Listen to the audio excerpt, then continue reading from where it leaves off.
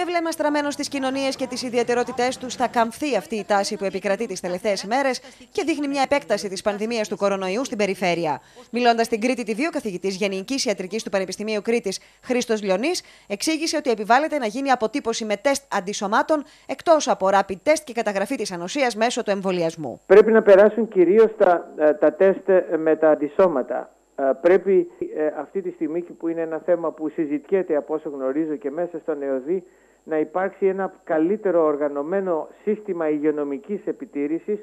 και αυτό πέρα από τα μοριακά τεστ ε, ή τα rapid test και με τις οποιοδήποτε προσπάθειες ιχνηλάτης που θα γίνουν πρέπει να γίνονται με σταθμούς που θα καλύψουν όλη την Κρήτη και τους ορεινούς όγκους με αντισώματα που θα μετράνε και τη λίμωξη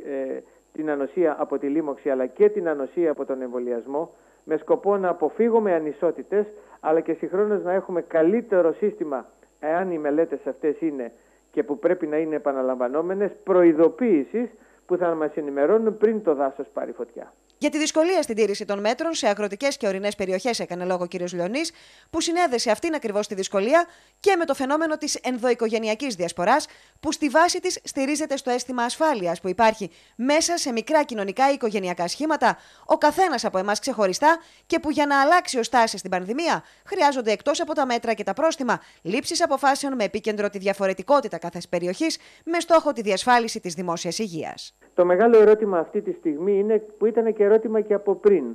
Πώς μπορείς τώρα να επηρεάσεις τη στάση των ανθρώπων, να επηρεάσεις τη στάση θα έλεγα τις ενδοκινοτικές και ενδοοικογενειακές.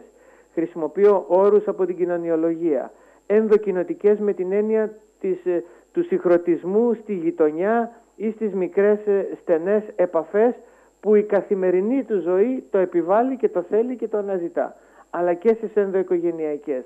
Αυτή τώρα η στάση πώς θα επηρεαστεί, ε, ε, αυτό είναι θέμα συζήτησης αλλά που έχει γίνει αλλά που δεν έχει φτάσει δυστυχώς ε, και στα κεντρικά επίπεδα εξαιτίας ότι συνήθως τα κέντρα διακυβέρνησης εξετάζουν την επικράτεια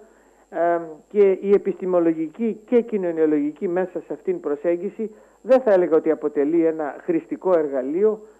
που θα το ήθελε κανένας. Ο κύριος Λιονής αναφέρθηκε και στην δυνατότητα χρήσης διπλής μάσκας, εξηγώντας ότι η εξοικείωση με τη χρήση της μάσκας μπορεί να επιτρέψει τη χρήση της διπλής μάσκας, την ώρα όμως που δεν υπάρχουν συγκεκριμένα συμπεράσματα για την αποτελεσματικότητα μιας τέτοιας επιλογής. Προσωπικά δεν είμαι αντίθετος και είναι αλήθεια ότι και ε, ε, ε αποφεύγοντας, μιλάω για την προσωπική μου πρακτική που δεν χρησιμοποιώ ε,